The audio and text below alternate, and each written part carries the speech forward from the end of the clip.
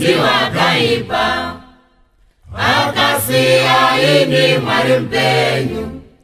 Akasiya ini mwari mpenyu. Madzibaba enyu ndiwo akaipa madzibaba enyu ndiwo akaipa akasiya ini mwari mpenyu. Akasiya ini mwari mpenyu. Madzibaba enyu ndiwo because with regard to uh, the law of gravity we are told that the calculation of this law of gravity is by the square of the distances uh, between the bodies and uh, their mass. Or that in other words if you want to calculate uh, this force of gravity in a celestial uh, calculation it will be m1 multiplied by m2 over r2 in other words mass 1 multiplied by mass 2 divided by the distance between them. So which means uh, the heavier the body uh, and the less the distance so the the more it is to go uh, closer to a heavier body. Now so when it comes to the issue of the sun and uh, in the case of the sun and of the planetary systems generally the mass of the central body enormously exceeds that of any of his planets according to the heliocentric teaching the sun is 99% or 99.9% of the mass of the solar system of our solar system at this milky way where we are. And now for example uh, the sun is 1040 times as heavy as jupiter the heaviest of the planets. Now i want to show you the structure of the planets according to the ball earth or heliocentric philosophy.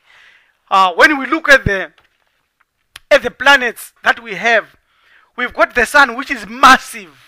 1047 times greater than one of the largest uh, planets around it. But unfortunately we got uh, mercury which is closest to the sun but is not into the sun. We've got venus which is closer to the sun but not in the sun. We've got earth our earth which is near and closer to the sun but not into the sun. The reasons why these are not being absorbed or attracted into the sun has baffled almost all astrophysicists astronomers and scientists and anyone who has uh, decided to think about this rather than following what newton and what other scientists says. Then we've got jupiter after mars which is the biggest of all the planets but it's far from the sun. It, the order was supposed to be jupiter saturn and and and and and the earth and the uranus and all like that but they are not like that. They are actually arranged in any uh, disorderly manner according to the heliocentric pictures that we see. So all scientists commit only to the truth and pretend to only follow the truth and only work with facts. But i've just given you this this other this pictorial effect which scientists cannot answer, which Einstein cannot answer. Any genius you show this cannot answer vis-a-vis Newton's ideas of gravity. Now, we all know that they only pretend. We all know that they think they are correct because Newton in cosmology explained something in that manner. Um, therefore, if ever this has been, if ever this is disproved, it will mean that uh, the basis of all physics is false then. If you think that what we are trying to do is to discredit honorable men and women on earth who have thought out this and calculated and given us mathematics on this, please follow us in this video and follow us to our reasoning and uh, experiment and observe as we shall show uh, in this video. At school and throughout, we were all taught and told that mass pulls the universe, and the mass holds the universe together, and uh, that mass was very critical and important in the formation of the universe, specifically in the formation of the solar system. And when we ask why, we are always told that about 400 years ago, Newton discovered that mass produces gravity by structures pulling each thing to it to each to themselves or pulling each thing together and that uh, gravity is that glue that makes us stick on the earth and that gravity uses mass to glue the universe. And the question now is, as we have already indicated initially, if gravity gravity is so powerful, why is it that it allows a butterfly to fly? It allows uh, small uh, ants uh, and insects, fireflies, mosquitoes. Look at the mosquito. It defies gravity. And uh, uh, how come gravity is so selective? Is gravity like a magnet? Is gravity a force? Or gravity is a myth? Think about this that I have just said. All the while, nature appears to use a completely different system that does not even come closely to resemble Newton and the scientists. Now, look at the picture of the planets that I have shown, that I'm showing here. Look at the picture of the planets vis-a-vis the, vis-a-vis the sun. The sizes and their masses are totally at random and they are all scattered as far as structural size or mass goes. They don't follow any laws. The allocation of planets and Newton's mass plays no part in this cosmic in this cosmic uh, picture. Look at the picture. It shows that planets are in a random order of sizes, and the manner in which planets are distributed has no relationship whatsoever to gravity or mass. So, if a law does not apply to what is uh, to phenomena that is observed, it's no longer a law; it's a lie. So, did Newton lie? Was Newton a pure, clear-cut atheistic scientist? No, he was not. He was a religious fella. He was a Freemason.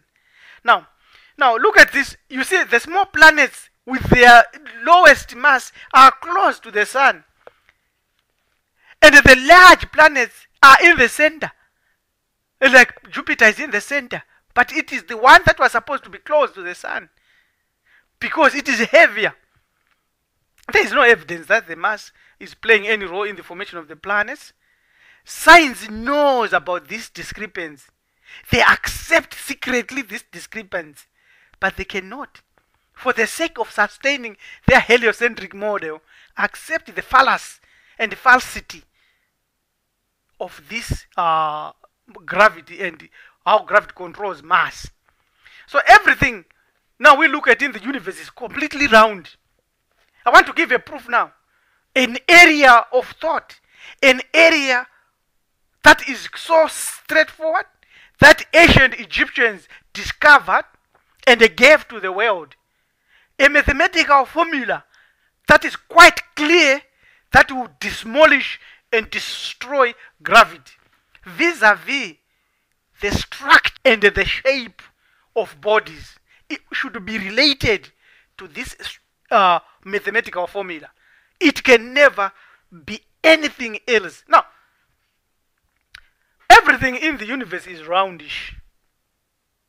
It, it, it- everything in the universe. Look at those planets again. Mercury is roundish. Venus is roundish. Earth is roundish. Mars is roundish. Jupiter is roundish. Saturn is roundish. Uranus is roundish. Neptune is roundish. Pluto is roundish. Uh, everything else in the universe is roundish. Listen, I'm not saying spherical. I'm saying roundish, which means it is a circle. And anything that is round has to apply the value of pi.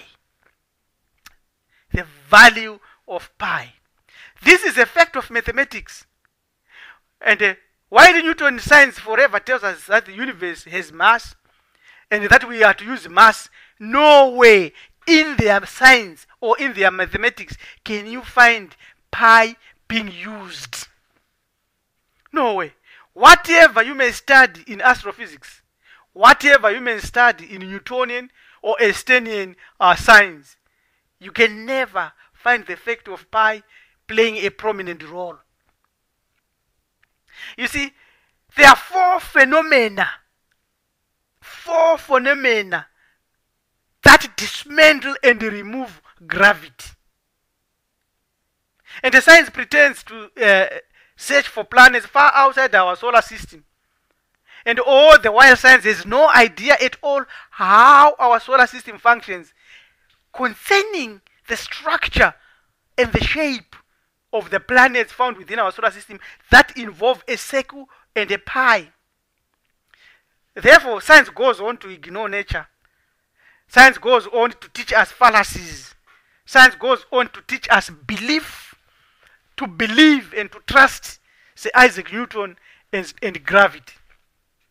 I want to look and, and to, to, to, to consider one book here, uh, Terra Firma, uh, uh, written uh, by David uh, Wardlaw Scott.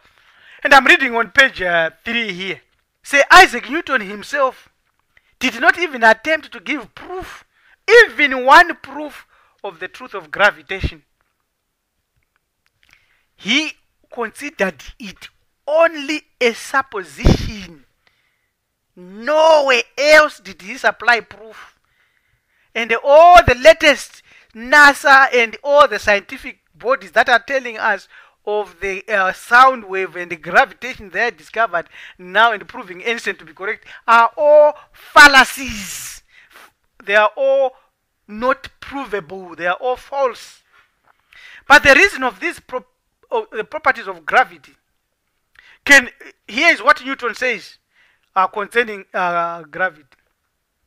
He said, but the reason of these properties of gravity I could never hitherto deduce from phenomena and am unwilling to frame hypotheses about them. For whatever is not deduced from phenomena ought to be called an hypothesis. And no sort of hypotheses are allowable in experimental philosophy, wherein propositions are deduced from phenomena and not made general by deduction. So, the famous laws of Kepler, which were once considered to be so helpful and fundamental in establishing the theory of uh, gravity, have all been found to be erroneous suppositions too. This was proved by Professor W. Uh, B. Carpenter, who wrote uh, in October 1880 in the Modern Review, uh, which I will quote here. He said, He took as his guide another assumption no less erroneous, vis a vis, that the masses of these planets increased with their distances from the sun. In order to make this last fit with the facts, he was drawn to assume a relation of their respective densities, which we now know to be utterly untrue. For as he himself says, unless we assume this proposition of the densities, the law of the periodic time will not answer. Therefore, his biographer, Kepler's biographer, says three out of the four suppositions made by Kepler to explain the beautiful law he had detected are now undisputably known to be false. What he considered to be the proof of it being only a mode of false reasoning by which any required result might be deduced from any given principle. So he was lying. Kepler was lying, was a liar. And uh, Sir Isaac Newton's gravity is being proved, has been proved, was proved to be a total supposition, a lie to sustain a globular earth. Now, oh, the truth is that gravitation, attraction, cohesion, and all the other scientific names invented were only created to sustain a spherical or globular rotating earth. Uh, they have no proof, and nature can never uh, give them any proof because nature is completely different, does not operate according to the uh, globular earth, it operates according to the uh, flat earth. Anything whose density, anything whose weight, anything whose volume is greater and heavier than the air pressure will drop down to the ground. Whilst anything whose density is lighter than the air around it will rise up to, into the air and uh, comes down slower without any speed. Now, uh, uh, the truth is that uh, the answer that we have given here is that any object which is heavier than air, any object which is heavier than atmospheric pressure around, around it and which is unsupported by anything else has a natural tendency to fall by its own weight. So Newton's famous apple that fell on his forehead was heavier than the air around it and it was no longer held to its stalk and therefore it fell and dropped to the ground. It was heavy. The answer to gravity is this anything that is lighter than air will not be attracted to the earth because the earth is a flat body.